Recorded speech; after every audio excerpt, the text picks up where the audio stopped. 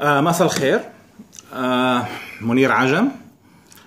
آه بفيديو اثنين فيديو ورا بعض حنسجل على موضوع له علاقة بالتدريب والتعليم والعلم. آه بعض التعبير بدي أضطر أستخدم بعض التعبير بالإنجليزي تنشرح. آه وبالفيديو الثاني بنركز أكثر على الفرق كيف نحن بننظر بنطبق هالنظرية. اللي حنتكلم عنها بالفيديو الأول. بالفيديو الثاني حنتكلم إنه كيف فينا آه كيف بنستخدمها بشركة سكات بالشركة اللي اللي أنا بديرها وبنشتغل فيها. وهالموضوع يعني trigger له كان اليوم من صباح اليوم كنت زميلي لوك بومنز وأنا كنا باجتماع مع أحد ال client العملاء اللي بيشتغلوا معنا من تقريبا 2010 أو 2011 وتقريبا كل سنة عندنا دورات لهم معظم الدورات كانت عم بتكون على ال certification training بالشهر كانون الأول يعني الشهر الماضي ديسمبر عملنا لهم دوره على ال methodology. آه وهذا الشيء فتح الباب إنه آه نقدر نتناقش معهم بتفاصيل أكثر على الفرق بين أنواع ال training اللي هو حيكون التركيز فيه بالفيديو الثاني بهالفيديو حنركز أكثر على آه لأنه الموضوع هذا جر ذكرنا بالماضي شوي. من سنين زميلي لوك كتب وحاطين على ال website تبعنا مقال صغير اللي هو بيميز بيشرح فرق شو الفرق بين ال training و education وال وال learning ونحن بنركز دائما إنه كورساتنا نحن بنحب نكون كورساتنا بتركز على شيء اسمه outcome based learning. آه يعني بنستعمل كلمة workshops و outcome based learning بدل بنحب نستخدم كلمة course facilitator أما workshop facilitator مش teacher ولا instructor يعني إحنا شغلتنا نسهل بال adult education آه لما نكون عم نركز على آه تدريب على تعامل تواصل مع مهنيين بالطبع متخرجين من الجامعات وعندهم شغلهم وعندهم خبراتهم ما بنحب نستعمل كلمة teach ونستعمل كلمة train نحب نفضل أو trainer و instructor بنفضل نستعمل كلمات لأنه نحن بالعربي للأسف يعني كلمة الكلمة ما حلوة كتير إنه مسهلين للتعليم. أما بعتذر مرة ثانية أحيانا اللغة العربية ما بتساعدني لاقي التعابير المية بالمية صحيحة.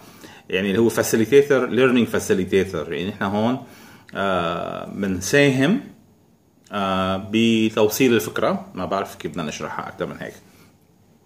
طيب شو الفرق بين training و education و learning خلينا نبلش بال education كلمة education اللي هي ممكن العلم بشكل عام. آه عادة لما بنستخدمها نحن تكون مرتبطة بالتعليم الثانوي ولا المدارس ولا الجامعات.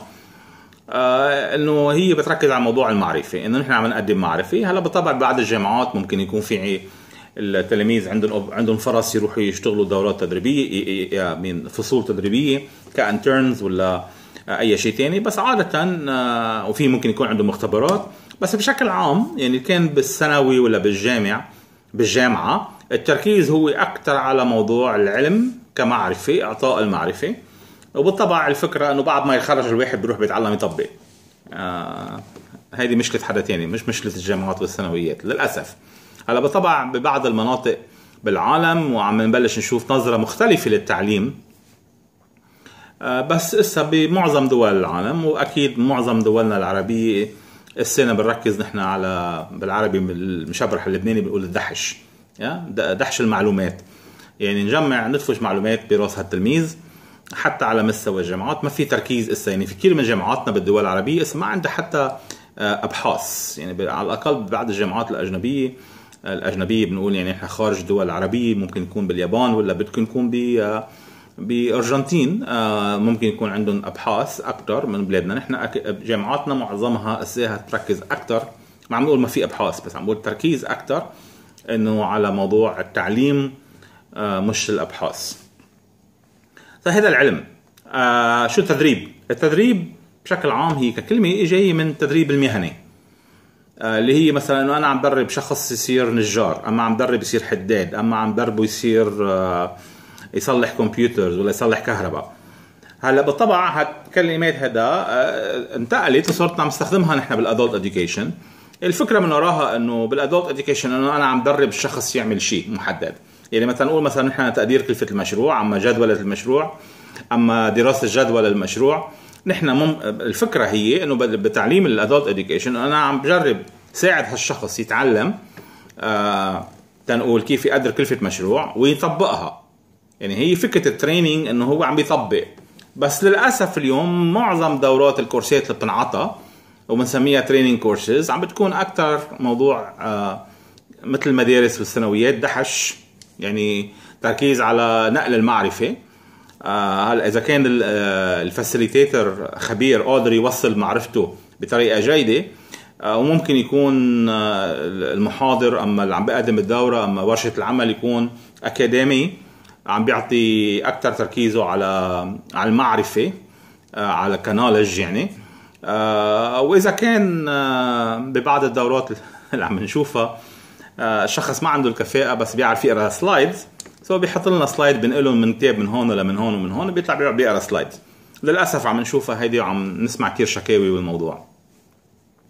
هلأ تنختصر الموضوع يعني شو الفرق بين ال education وال training بشكل عام يعني أحد المرة الأهل سأل الأستاذ جامعي إنه شو الفرق بين هالاثنين قام كان جوابه شوي مهضوم إنه بيقول له شو بتفضل إنه أنا أعلم اولادكم على سكس على الجنس ولا بتحبوا دربهم بعتقد الفكرة هون وصلت الفرق بين التعليم والتدريب.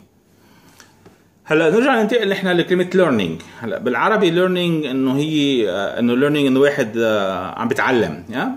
ك verb استخدمناها بس هي شو المقصود فيها؟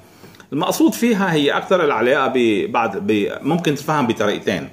يا أما عم بتعرف عم بتعلم شيء جديد يعني عم باخذ معرفة يعني نولج أما فيني أقول أنا I've learned لما بنستعمل كلمة I've learned to do something يعني أنا تعلمت أعمل هالشيء الفكرة هون إنه مش تعلمت النظري تعلمت التطبيقي.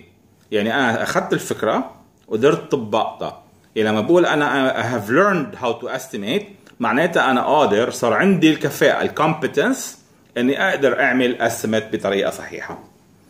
آه هلا بطبع ال competence هون له علاقة بال skills level يعني ممكن يكون الواحد مبتدئ وممكن واحد خبير. أكيد في فرق بين اثنين بس على الأقل إنه الفكرة اللي هو تعلمها الشخص. إذا عم نعلمه نعطيه نحن ال 101 ولا ال 501 يعني عم نحكي PM 101 ولا PM 501 آه يعني آه سنة أولى ولا سنة خامسة.